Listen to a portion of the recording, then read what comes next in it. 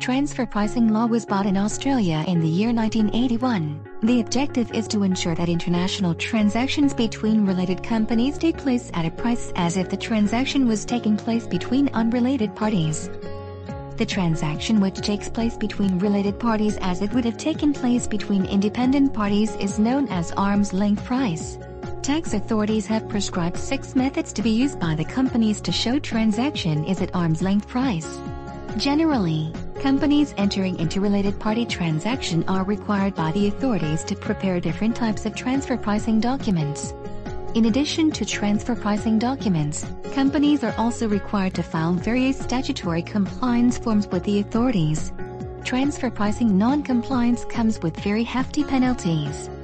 To mitigate any transfer pricing risk, companies have an option to enter into an advance pricing agreement with the tax authorities or may choose safe harbor rules.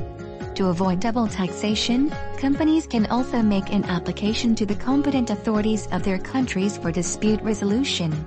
To ensure your company is always compliant with all the transfer pricing regulations, it is important to make a robust transfer pricing lifecycle strategy.